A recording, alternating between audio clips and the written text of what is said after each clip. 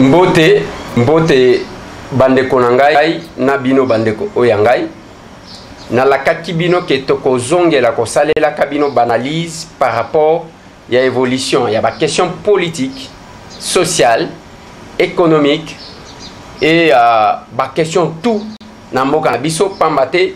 deficit wana ezali komonana Et nous sommes obligés de le faire. Je sais que depuis un certain temps, Bandeko Ebele, Bakomitunaka, il n'y a aucune loi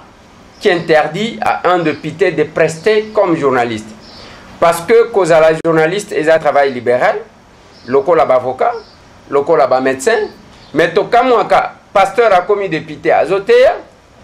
de fois azo teya kutu politique koleka na église médecin azo traiter avocat azo plaider mais biso il y a eu un règlement de compte bazwaka décision wana mpona bato mibale oyo il pensait que bazali kosala bango ombrage ngai monsieur tambwe na molière mais molière comme il a sa chaîne et qu'il sait que la loi n'interdit pas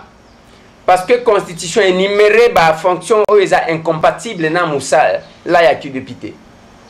aban il était libre azosala Et nous, comme on était dépendants la chaîne à Moutou et que Batouana Bazouaka menace, on était contraints d'arrêter.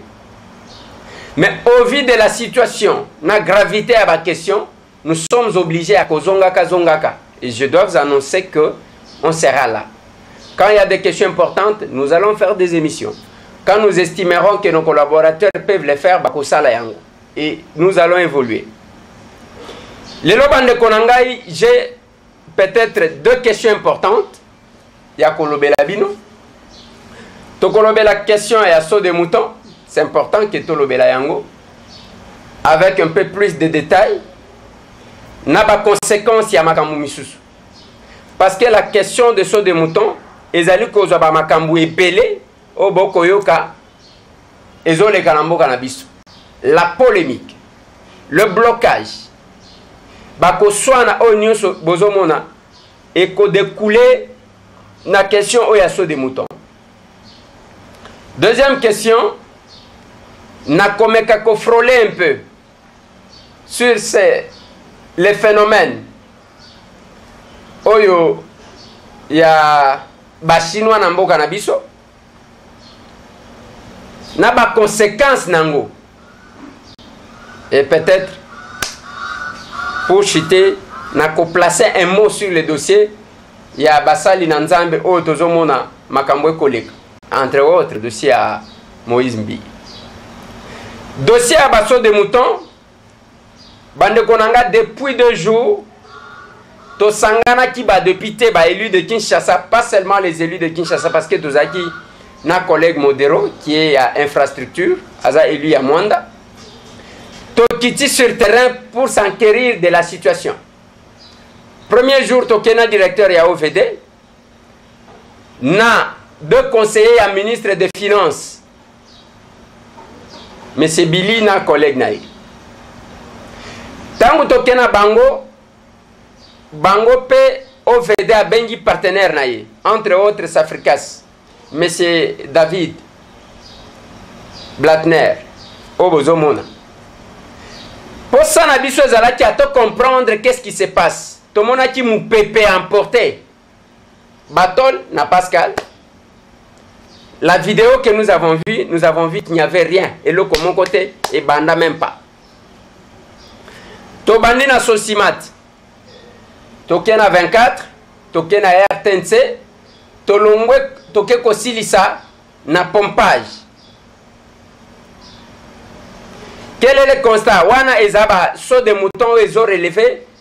na competence ya OVD. Quand on parle de l'OVD, on voit la province.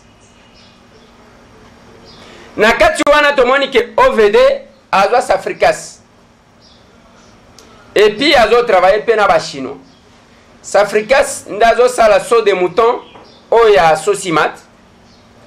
Oyo ya 24 eza ba chinois. oyo mosusu ya, ya rtnc eza ya bato ya safricas epuis ya pompage ya bachinois quel est le constat oyo toke kovisite na pompage esi esili me kosila na yango ezali koresoudre problème oyo basalelaki yango te c'est-à-dire ya kodesengorge place wana pour ke embouteillage ezala te Pourquoi? Ya liboso, nzela oyo ya likolo ekoleka na yango. Me ndenge ya banzela mosusu kotourne na se eza mwa komplike. Eza na nzela ya regie des eaux oyo bandeko bakosenga ke babongisa yango, yango ekodesengorge parce que soki balabala wana ebimi na se ya pont ekeyi ti kuna me na kati wana tokuti batya ba mwa pano na kati bakoma wana batableau bakoma inauguré bapesa même date mais les deux dates sont contradictoires il y a une date pour le mois de novembre et il y a une autre date pour le mois de décembre j'ai posé la question inauguration esalema quand Oyo biloko oyo batya. Balobi o te, lokola ba chinois bayebaka français te, ezalaki mokolo ya remise ya uh, ouvrage wana. Mokolo ya remise ya ouvrage, est-ce que l'ouvrage va répondre na ba besoins oyo basalelaki yango? Etikali problème ya parking. Problème ya parking certes ezali ko relever na compétence ya ministère ya infrastructure te. Ezali ko relever na compétence ya ministère ya transport et voie de communication. Yango bomoni tangu Justin Kalumba mwana Ngongo azalaki ministre ya transport et voie de communication basali plan ya ba transco na ba esprit de vie ye moko mutu asalisa ba parking bare ya bus oyo ezomonana on n'a pas d'arrêt on n'a pas de parking place ya kosalela quoi que ce soit eza te j'ai suivi le ministre provincial ya transport ntango bazotuna ye makambo ya ba parking ye azoloba ke eza na parking moko pembeni ya hotel de ville je me suis dit mais attendez monsieur le ministre moto akolongwa alongwe aye limete ake kogare pembeni ya hotel de ville ou bien akosala ndenge nini place yango wana botonga pembeni ya hotel de ville soki makambo ya serieux bozalaka serieux na oyo bozosala vous devriez casser ça bobandi kotonga parking moko na se ematiti likolo ça ne coûte rien ça pour l'hôtel de ville ovi ya bambongo oyo ekotaka na cadre ya hôtel de ville ça ça ne coûte rien kosala bare kosala baparking mais le ministre de transport au voie de communication toyokaka ye te mosala na ye eza kotya loboko kuna loboko kuna tout le monde est pressé de placer ces gens na baposte mais tout le monde oublie que nous avons en face de nous un peuple qui nous contrôle et qui saura nous sanctionner biso toza baelu ya kinshasa des fois buzoba bato misusu bakosala ezokweyelaka biso Je me rappelle, je suis passé dans quelques émissions. Bandeko bazotinda message. Ndeko Eliezer, yo mpe okomi kokotela bango, tozozela yo na 2023. Nyonso tu wana ntango ozotala bandeko. Ce n'est pas que M. Tambo asali lisumu. C'est parce que seulement ils en abattent qui n'ont pas de contrat avec le peuple, qui sabotent tout ce qu'on initie comme action. Eh ben, ils ont parce que ils sont des élus. Au Kosa Nous acceptons. nous encaissons le coup de notre peuple toye kolongwa so de mouton ya sosimat balobi financement bazwaki eza ya 55 pourcent réalisation balobi euh, tolingaki tozala plus avancé Mais nous avons été bloqués. C'est une question tokoluka général Silvano Kasong. Balobi que tolingaki tosilisa, mais le commandant de la ville a bloqué misala pendant trois mois. Misala esalemaka te, a suspenda misala. Biso en tant que badepute,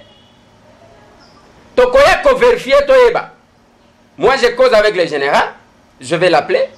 Nakotuna et Mutuna, Toyeba. Parce que le, selon le rapport trouvé sur place, le commandant de la ville a suspendre ba misala ya baso de mouton. Et ça fait trois mois. Misala ezo salemate. Selon le rapport trouvé sur place, il a fallu qu'un autre général, général Ilunga, aille pour intervenir pour que misala ebanda. me ndenge bozomona na sosimati wana kote moko nde basali mwa travaux kote mosusu oyo akuna nanu basali ata eloko moko te apart kocrese nde bacresa place wana on a posé la question au cas où et qu'est-ce qui bloque d'abord d'un côté il y a cette histoire là qu'on ne connaît pas le raison qui avait poussé na commandant de la ville à suspendre ba travaux deuxième element financement nakoya koloba makambo ya financement totuni soki bapesi bino mbongo ça peut prendre combien de temps balobi 3 mois 3 mois na ndenge nini balobi bapasserele oyo tokosala eza en grande partie na ba metallique na mabende mabende wana tosi tokomanda yango eutaki france tokoki kokende na depo na biso bokende komona yango yango tokendaki na depo ya safricas na nzela ya poids lourd tomoni bamabende wana bokomona ngai naza ingénieur te nalingi kokota na makambo ya detail mosusu te mais ce que j'ai vu namoni bamabende les ingénieurs vont apprécier totali ya 24 eza bachinois moto bazotonga kuna tokuti quand même quelques travaux bazosala mais ce qui est vrai bandeko na nga Soki otali ovi par le fait que ou bien napesa bino nanu detail soki nasilisi bongo napesaka mwa conclusion wana tokuti ya 24 bachinois bazosala misala totuni sa quel pourcentage bango balobi se a 70 pourcent yake mosala esila me tomoni yango eza d'un côté de l'autre côté kuna na eloko esalemi te me balobi a 70 pourcent 80 pourcent d'ailleurs tokomi na so de mouton ya rtnc oyo ya 109 kuna ntango tokoti na kati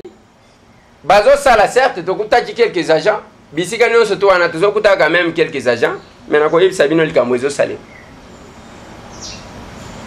tokuti kuna avant travaux eavance mpenza te question eza nini financement le lendemain toye kozwa dg ya office de route mpona na baroute oyo ezali koreleve na compétence nationale tokei na ya debonome ya debonome personnellement ngai nasepelaki bien que j'ai posé d'autres questions nasepeli parce que soki otali qualité ya ouvrage wana ozomona ke eza avance eza bien eza makasi me natunaki nalobi sikoyo bamituka oyo ya koleka likolo pour le moment toza na 8 bande na boulevard du 30 juin c'est-à-dire 4 côté oyo 4 côté oyo mais oyo basali ekokoma 4 bande de nale de na retour mais oyo toza na 8 bande toza na problème ya embouteillage que nous voulons résoudre basali oyo mituka ekobana koleka na se au moins 4 mais natuni bango sikoyo mituka oyo ekobana koleka na se ezokende wapi parce que de l'autre côté banzela eza te toza na kamwa nzela moko ya moke wana ekoti eke kuna na oyo soki osali neti ozomata mwa moke oyo ezobimela kota station donc wana ewutaka poids lourd ekiti na po matete bongo eke kuna sikoyo le 4 sorti oyo botie na se kuna ekodebouche ndenge nini ekokominike ndenge nini là c'est vraiment un problème même la réponse qui m'a été donnée par le dg ya office de route ne m'a pas convaincu nous risquerons d'avoir les mêmes problèmes au wana mais place yango wana baprévoir arrêt te baprévoir mpe parking te c'est aussi un problème qui relève ya compétence ya ministère ya transport et voie de communication nous allons les chercher tokomi na liberté liberté mwa mosala moke esalemi soki otuni bango à quel pourcentage bango bazalaka 70 pourcent eh, oui 70 pourcent mais na liberté mosala évolue ndenge wana te non c'est faux il y a encore du travail à faire tolongwe kuna tokomi sikoyo na finale na kuna na pascal oyo tomonaki on savait que tokokuta eloko moko eza na kati te parce que c'est là que nous avons vu les images sur les réseaux sociaux ntango tokomi kuna ya liboso je ne suis pas là mpona ko défendre mutu mais je dois dire la vérité de ce que j'ai vu image namoni ya liboso eza que image oyo tomonaki ya réseau sociaux eza ya lokuta mpo na nini parce que les images nous démontraient que il n'y a rien na kati non na kati batimbola babanda misala me misala wana e avansa mpenza te ndenge bozomona ba bibende wana ndenge bozomona batongatonga quand même bon ndeko moko alobaki wana te oyo oh, ka ntango mbula wana eseli nalobi te oyo oh, bamire oyo bakotonga yango kaka na mokolo wana te quand même ata kotonga yango ya bachinois parce que c'est la société Euh, sa fricasse nde moto azali kotonga place wana ya david blatner mais qu'est ce que j'ai trouvé tokuti mpe quelques agents ce que nous avons trouvé bandeko na ngai eza que misala etelema na yango depuis kala depuis le dernier paiement ya mois d'octobre misala esalemaka te baoyo bazala kuna bazalaka kuna pour faire vivre mpo na bato batala ke bato bazala na kati détourner l'attention des gens mpo na nini misala etelema misala etelema parce que bazofinanse yango te bazofinanse te mpo na nini parce que ministre ya finance alinyamona claire na makambo yango bandeko na nga systeme oyo toza nango awa na mboka na biso eza systeme soki otuni mutu mutuna mba nzela bokoki kotonga yango 1 kilomètre mpe nukute combien balobi avec commission ou sans commission boyoka degré avec commission ou sans commission donc na mboka na biso toza na baprix mibale misato prix ya corruption oyo ezali na commission na kati mpo nalobaka chaque jour démarche à cause makelele que nous, nous faisons la lutte contre la corruption la corruption est la conséquence de l'impunité alors ce qu'il fallait faire c'est quoi il fallait lutter contre l'impunité pour arrêter la corruption ont lutté contre l'impunité c'est tokotelimisa corruption la corruption nous luttons contre la corruption non ça ne sera pas résolu la corruption n'est qu'une conséquence lelo na nzela awa ce n'est pas la corruption oyo ozomona moto akei donc eza nini eza impunité nous vivons dans un pays de non droit moto azotambola ndenge alingi oyo licence unique ndenge alingi basignalisation wana ezalaka nango na ntina te balongola yango parce que personne qui respecte ça toza ndenge wana qui va punir qui parce que na makambo yango oyo bandeko na ngai nasengaki boye bazwa la police Même s'il fallait prendre un civil, bazui ba pese quelques éléments de la police. Atelemi sina mituka ya kobanda ko komema mituka oyo ko déroger. Moto akozwa mbongo na balabala azala te. Osali mbeba bakangi yo batore mutuka na yo bakena yango na 20 mai to na na, na martire bamemi yo kuna yo kokende ka kuna oke kofuta bapesi yo kitanse 100 dollar ofuti batikeli yo mutuka boyebi tokokotisa mbongo combien boyebi mulongo ordre kozonga na degre nini comment nous devons nous comporter comme si mitu na biso ezosala biso nyonso mitu lokola mitu ya bato nyonso ezosala te non mais attendez ntango tozoleka na batelevision nous, nous proposons c'est ce que nous faisons au parlement eza ya ke bato bayoka lelo soki todepouye meme cette police là qui se plein de moyen akozwa mbongo ya kobanda kosala bamisala ya kosécurise population mbongo ezali ayo tolingi korekolte yango te tolingi komobilize yango te mais nous nous plaignons toza bato ya modèle nini Les contraventions routières et coco Tsambongo, je l'ai toujours dit, la police à travers le monde, c'est un service mobilisateur des recettes de l'État. la police leta akolamuka lelo à travers la police alobi na lingi nakotisa 1 million de dollars lelo akokotisa yango ce n'est pas impossible na desordre oyo ya kotambola bato bazotambola ndenge balingi tozwi totye bato awa moi-même nous avons l'expérience ndeko na ngai azolanda ngai place azali ayaki kotelema civil akuti ka poto aye wana na ndenge azali nzoto minene na nini atelemi akuti barulage na pascal place yango ambuteillage ezali ba, ba policier batelemi kuna bazobetaka masolo na bango bokende na bacarrefour bokokuta bango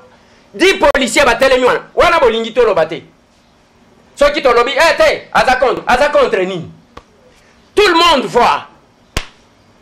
la présence de la police aujourd'hui sur la route ezobangisa lisusu mutu te parce que mutu azotambola ndenge alingi oui certainement nayebi ke la police baza mpe na mwa problème moke Parce que toza na mboka oyo ba gyrophare ezo kende dans tous les sens. Okotelemisa, moi je suis de la présidence. Okotelemisa, moi je suis ministre. Tout le monde. Des fois la police est affaiblie. Mais nous devons donner le pouvoir à notre police ya ke mutu nyonso azala na se ya mibeko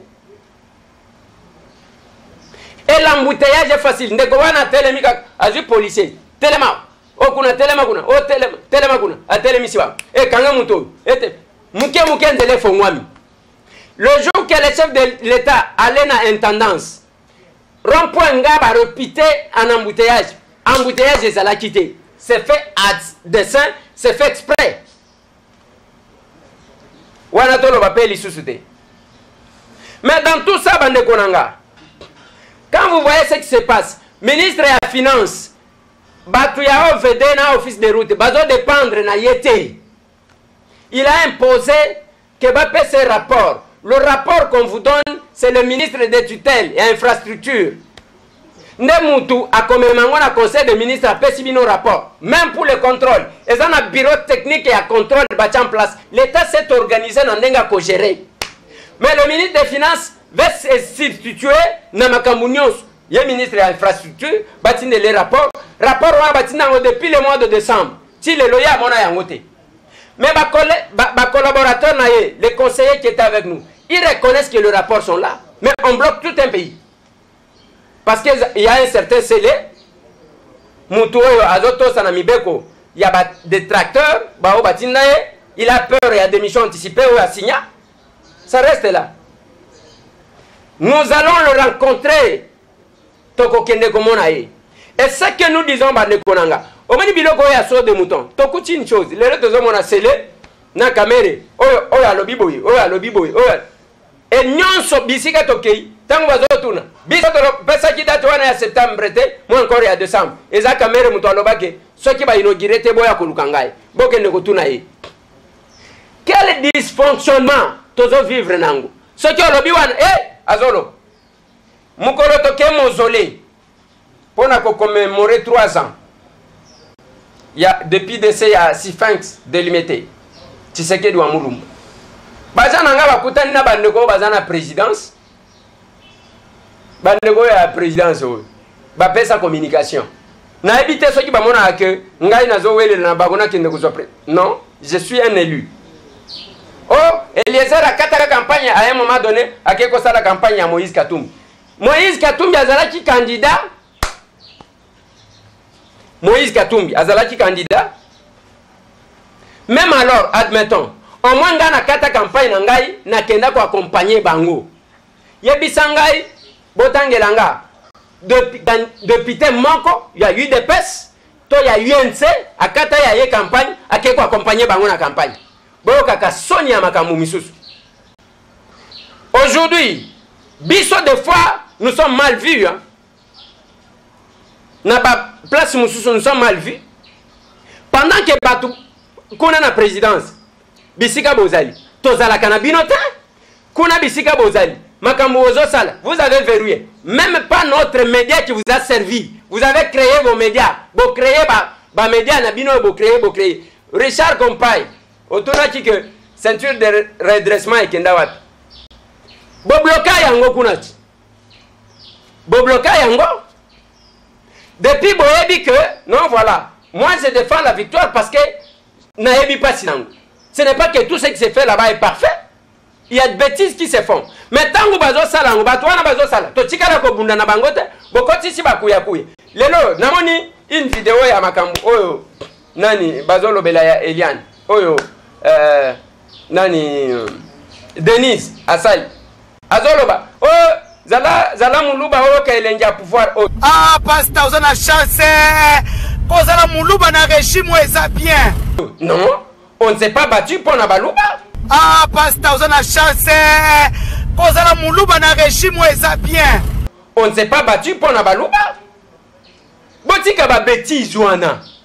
botika ba betises wana tout ce qui se sont battus bazalaka baluba te eh, même alors lobi tozalaki kofinga lobi tozalaki koloba lobi mikolo nyonso eza ndenge wana siko kofinga wana nyonso oyo bozalaki kofinga ezalaki na ntina nini si on doit faire le même chose ndenge bato ya kabila bazalaki kosala parce que swahili ekomaki awa laisse passer meme moto azala mokongo akomaki kaka natafuta manyanga o natafuta manyanga soki lelo ekomi balangage yake lelo baluba basali boye ainsi de suite balingaki bakanga moïse mbi baluba eh, eh, présidence s'il y a eu interférence na dossier parce que moïse mbi aza moluba nous n'accepterons jamais, alors jamais, là en tout cas ça n'ira plus. Et qu'au Et parce que on ne doit pas se battre pour tomber dans des sentiments tribalistes. Ça, ça ne va pas. Nous optons pour la séparation des pouvoirs. Que la justice fasse son travail, Bien que la justice n'aide pas du tout le, fonction, le bon fonctionnement de la République, mpo baka oyo oh, justice ekoki kosaisir d'office bazosala yango te mais soki ezali ya ke ale bovandi parce que oyo aza moluba parce que oyo aza boye la présidence baye balobi tel que denise a dit des proches ya pouvoir oyo basalaka na kati ya pouvoir qui sont venus babondeli mokonzi babondeli pgr donc mokolo ya lelo moïse mbiye angaki alala na bakala si c'est vrai en tout cas ça ne marchera pas esimba te autant nous ne pouvons pas encourager que soki eliane makambo azoloba Eza ya solo te, moi je suis contre. Je vous ai dit, c'est ma position par rapport à dossier ya Eliane. Oyo ekomi lokola foyer ya buzz. À tout moment ko communiquer, ko communiquer. Nous gérons. Batu bayebi awa na Kishasa. Plusieurs cas similaires. Nous les gérons et nous trouvons des solutions. Parce que comment vous allez exposer moi na moi 20 ans ya pamba moi na selon maloba na 20 ans ya pamba aza encore na avenir munene liboso na ye sikoyo botie ye abimaka lokola mwasi moko légère chaque jour dans les médias chaque jour chaque jour et bozopesa baadversaire na bino baargument c'est pas possible na sima na oke la presidence apele si la presidence apele ndenge tozoyoka moïse mbi yango azali awa soki ye moko moto alobaki ke eliane aza fiance na ye balingaki bakanga ye eke la presidence ore interfere ndenge denise alobi omoni lelo soki intervention ya presidence te olingaki olala na makala ndenge denise alobi en tout cas nayebi te esimba te yango wana bandeko na nga nous sommes bloqués na makambo ya baso de mouton parce que ya sele tu veux voir clair mais komona clair wana nazopesa bino exemple na upen bato bayebi batongaka bandako ya minene ebimisaka bamagasin kuna mwa propriété ekotaka place wana du coup tomonaka un jour eh, batracteur eye kotelema babuti ndako wana Nini o batongi na site universitaire? Ok, toya ko verifier eza que le gouverneur de l'epoque ne s'était pas retrouvé na cop wana comme ça régler ba compte. Na sima nango après kobuka baye batongi lisusu. Là on n'a pas parlé. Si vous allez à Lupin, vous allez trouver du côté rond-point ndako mususu eza wana. Voilà là où nous allons avec le pays. Les commissions pour l'intérêt à Mutumoko, le pays est bloqué. c'est quand même compliqué nalingi nalobela makambo ya bachinois puke nasilisa bandeko na nga lelo soki oke na kolwezi okomituna soki oza na congo to soki oza en dehors ya congo bachinois bakotisa ba engin moko basala baconcession yango bozoyoka lwalaba lwalaba emati c'est un état dans un état lelo toza na maladi oyo ya coronavirus oyo ezosilisa bato na chine bakongole baza na chine baza stresse parce que baza na assistance moko te mais états-unis quelque soit na puissance na ye alobi ba ressortissants américains bakende kuna te me biso awa disposition nini tozwi parce que toza na bachinois ebele bango bazokata banzete bango nde baza na kati ya baminere bango nde baza na kati ya kotonga banzela bakendaki feti epa na bango ntango bazozonga nous avons quelle stratégie ou quelle politique pour empêcher que coronavirus ekota na congo te ba chinois wana lelo mpo na nini bozotika il n'y a pas d'interdiction ya ke bakongole bakende chine te jusqu'à nouvel ordre c'est ça aussi anticiper eloko ezosalema te basali cette commission qui a été montée la dgm n'est pas socié bango baza na frontière le ministre, le ministre de le, des infrastructures n'est pas là dedans Parce que ba chinois ebele baza na makambo ya kotonga. Le ministre de mine n'est pas là dedans. Oyo aza na ba chinois batondi batondi ndenge ozomona wana. Bande konanga. Où est-ce que nous allons? Où est-ce que nous allons? Wana nyonso tout ba geger eza kaka ba ba ba geger oya bitumba ya FCC na cash qui pretendent être des alliés mais qui ne sont pas en réalité des alliés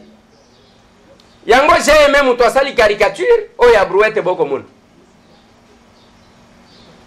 eh bien voilà c'est exactement ce qui se fait kasi alingi atondisa brouete FCC azo vide yango sous prétexte que bango balingi babima grand. Est-ce que bandeko même bandeko nazoyoka même na poto même awa na Kinshasa moto otelemi na télévision ke non ndenge tozalaki liboso les gens qui vivent, qui ne vivent que dans le passé et dans le futur le présent ne les intéresse pas kabila kutu aza malamu kabila kutu aza malamu mais vous ne voyez pas ce qui se passe ici je ne viens pas de donner le chef de l'état qui lui meme se choisi ses collaborateurs ntango tokomeka koloba awa ah, balobi balobi balobi balobi parceke bazoluka baposte te tokendaki na bino ebele na bino tokendaki na bino baélection boechoue on vous a ressuscité Ba, yango bake kotya kotya bato oyo bavota te na gouvernement kotya bato oyo bavota te peuple aboyaki na cabinet ça pose problème ils n'ont pas de devoir de devabilité bokosakana na bato te le chef s'est choisi bacollaborateur na ye aujourd'hui est ce que nous pouvons évaluer le cabinet du chef de l'état en toute sincérité sans émotion totya mpenza biloko boye na mesa parce que tout ce que nous connaissons aujourd'hui avec le peuple c'est à cause de vous les opportunistes qui n'ont aucun contrat avec le peuple biso samba peuple c'est comme si biso tozosala mabe c'est comme si biso décevoir ce peuple là nous pouvons évaluer aujourd'hui après autant de temps nous sommes au mois de février pouvons-nous évaluer les cabinets du chef de l'état total mutu na mutu asali idée ya aso des moutons. il fallait chercher une solution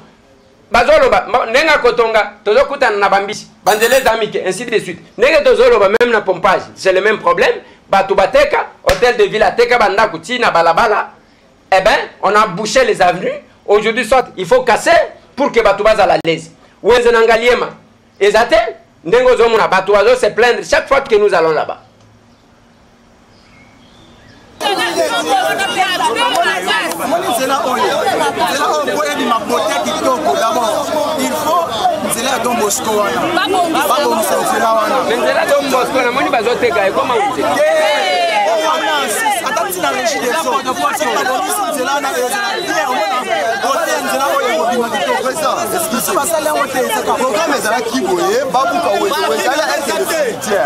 ozomona problème nde eza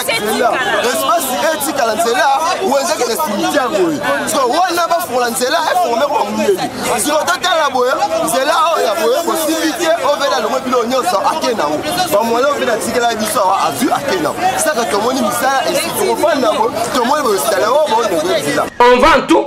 nyonso ezosalema ndenge wana mais soki tolobi Ngai na loba dre le debut, je le repete, na loba la solution d'abord ezalaki ya bozwa mbongo bokokaki kotia na saut de mouton wana botongeli biso nzela ekobanda mont ngafula ezobima na njili brasserie eke na aéroport na ba exit na ba sortie na ba sortie c'est ça la solution ça pouvait depasser biloko ya ba saut de mouton parce que baso de mouton wana tolinga totikala na nzela kaka ndenge wana mai oyo bazotonga ezokende nous avons essayé de proposer ça moto ayokeli biso te lelo toza na place oyo ezali biso oyo tokomi kotombe victime parce que bino bozosala bamakambo na bino bomonaka nga natambolaka na, na, na pr buzoba biso tobundisa tobandi komona yango mituka ya présidence chaque jour na babar bozo regne na mbongo ya banani chaque jour mituka ya présidence na babar et toute personne surtout bana basi deke ake kuna mpona akende kotravaille il faut akoma mwasi na yo les choses que nous nous avons combattu ndenge nazoloba boye soki bokebi te bientôt là je vais commencer à pomper les vidéos je vais commencer à pomper les vidéos bosakana na biso te et ça sera un scandale eza bablage oyo bafille bazosala te ça sera un scandale je le dis Trop, c'est trop. Nous nous sommes battus pour que ce peuple là puisse respirer. On ne s'est pas battu pour qu'un groupe d'individus,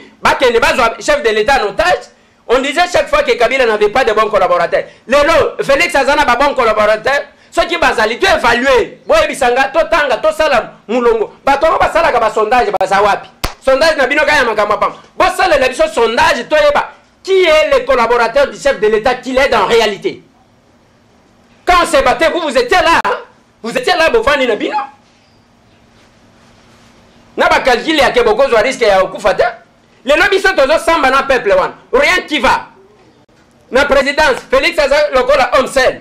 Moto azo sunga ye aza te. Toutes les personnes qu'il a nommées. Boyebi ka ko diaboliser bato. Ndenge nazo loba awa, okomona babandi ko diaboliser. C'est pas normal. Biso tozo sala kiwenge te. biso tosala miziki te biso tozosala politiki parce que totanga yango toyebi voilà pourquoi nous donnons le, le, des propositions mbongo ya so de mouton soki bobandaka nzela wana mbele heure oyo toza na niveau nini parce que là ya pas d'ambice tout ce que vous avez mis awa david alobi asatie mbongo na ye il a même préfinancé oyo oh, bachinois basi bapréfinancé ainsi de suite où est ce que nous allons soki omoni misala eke mbangu mbongo ebimi c'est à dire la commission est là dedans Ngano éviter. Ça pose problème. Mais il a fallu que Bolimbisanga, pour nous Mungongo, parce que ça nous fait quand même mal, on ne s'est pas battu pour vivre la bêtise et un modèle. On s'est battu parce que nous avions une vision. Et cette vision-là que nous avons, il, faut, il faudrait que vision on à la réaliser par des personnes qui connaissent bien ce qui se passe ce n'est pas tozosala biso na bino mpe tokoma ndenge wana ka neti brouette yango oyo ya fcc na kashi tokoma biso tozotya makanisi bino bozovide parce que bino boza bato ya ordonnance présidentielle on n'a pas l'accès là-bas ni média na biso ni nini te mais ce que j'ai dit si nous défendons ce que nous défendons parce que toyebi mpasi ya mboka oyo ce peuple là a besoin de respirer Voilà bandeko na nga botikala branche chaîne na bino tokomi wapi télévision vous servira toujours bakoservir bino na bayoki te bakoyoka merci tokozalazala na bino